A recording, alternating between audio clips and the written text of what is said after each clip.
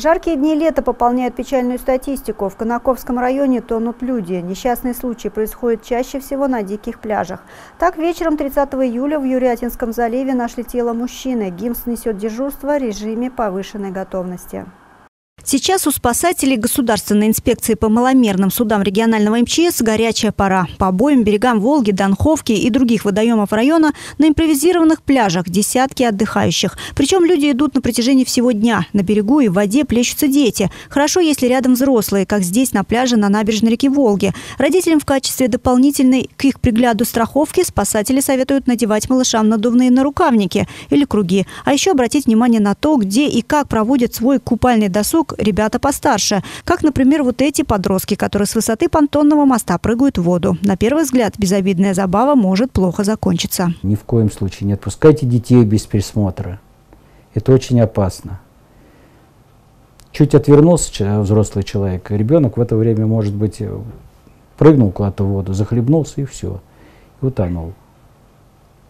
Особое внимание родителей обращаю внимание ни в коем случае не отпускайте детей ни на пруд, ни на речку одних. Только в сопровождении взрослых. А взрослых предупреждаю, что ни в коем случае нельзя употреблять спиртные напитки, если идешь купаться.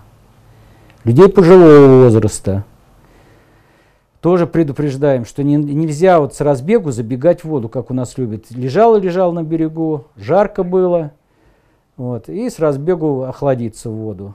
А у людей после где-то 60 лет, как правило, у нас гибель наступает, если он забегает резко в воду, останавливается сердце от перемены температур.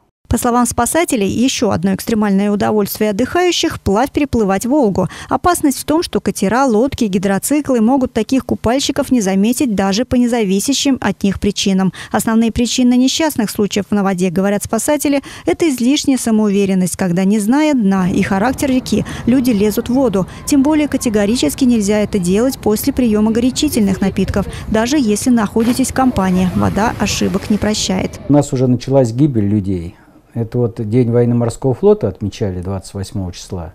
У нас погиб а, человек 80-го э, года рождения, молодой мужчина. Река Волга, Зуевский залив, деревня Юрятина. Приехали москвичи отдыхать целой группой. Сначала позагорали, потом отметили День военно-морского флота. Товарищ служил, который на флоте, решил искупаться – ну и вышла тема, что другие его компании даже не видели, когда он э, пропал из виду. Вот и вчера его только нашли.